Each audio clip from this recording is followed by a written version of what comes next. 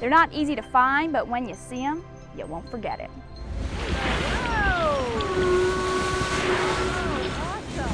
To see that spout come up out of the water and uh, you know it's a whale, just like Moby Dick.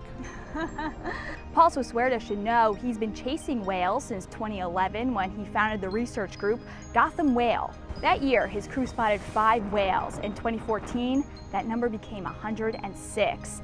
This year, he's proud to say humpback whales have made a comeback, and he invited us to tag along for a peek. Okay, so right now we are on board American Princess Cruises, searching for whales in the New York waters. It's a little bumpy. Two times a week, Paul and his team are out and about in the New York Harbor and surrounding waters, searching, researching, and documenting these whales.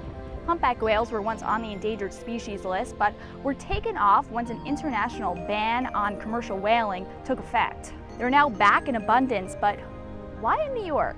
Primarily, uh, the water is cleaner, the population of whales has been expanding, the uh, humpback whales have been taken off the endangered list. That's the success story of humpback whales. Now, tours are four hours. You might see a whale, you might not see a whale, or you might see something else. Do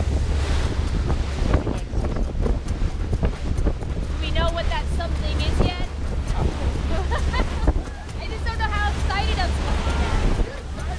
Okay, okay.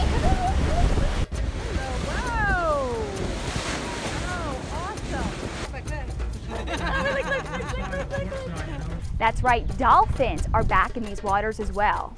But just as dolphins and whales are emerging in these areas, so is human activity, and that's the concern. So what do you think? Is more regulation needed in this area? Tweet me at Diana Blass or the show at Chasing News. And if you want to learn more about Gotham Whale, go to gothamwhale.org.